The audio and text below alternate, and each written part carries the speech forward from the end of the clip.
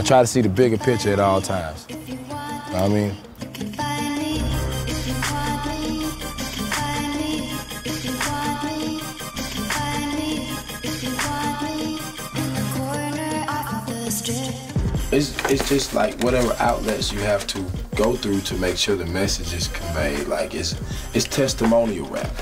Coming from where I'm from, my people, my family, my friends, or whoever I associate with knows my struggle, knows my passions, knows my pains, knows what I've been through. So if I don't put that on a broader scale, then I would disappoint not only myself, but the rest of the community that that, that doesn't have a voice.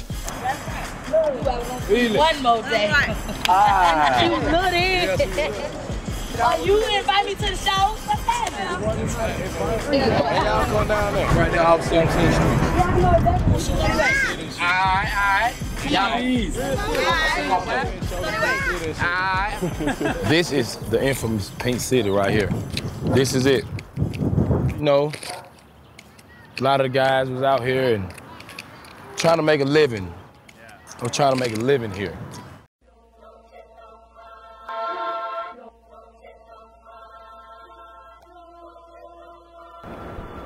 One of my um verses from Glass, from my video, from my song, my video Glass, was uh my homie Big Body. He had got shot. You know what I'm saying? So, and I say I seen him bleeding on the ground, and I said a prayer. Please don't take him, Lord. That's my partner, cause we need him here. He got some children and a lover uh, and a mother that love him so dear. So he's bleeding on the ground right there in the fence. Feel me? So like, I'm, I'm telling his story. Little Smoke, the little guy that you just seen, you know what I mean, come up and dap me down, telling his story. So just a, just an array of people, and not just in this community, just communities all over.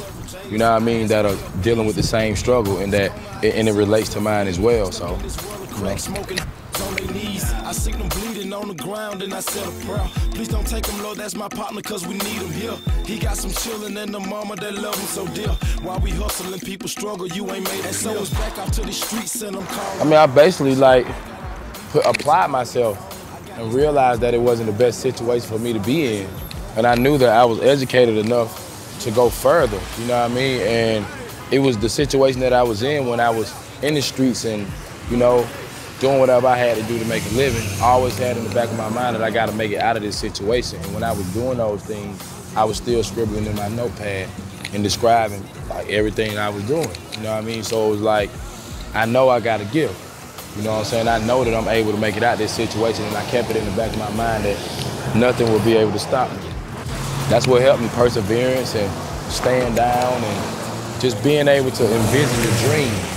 You know what I mean? Being able to realize that there's something better in life than just being over here and, and being around a drug-infested area. You know what I mean? I'm appreciative. I thank God every day because a lot of people don't even make it to a job in general, like, and, and I'm blessed. You know what I mean? So it's like, I'm a living testimony. Everybody know it.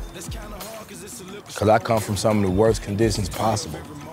And for me to be able to rise up, you know, feels pretty good. I've always had a reason to smile, but now my, a few more of my teeth are showing now. in real life.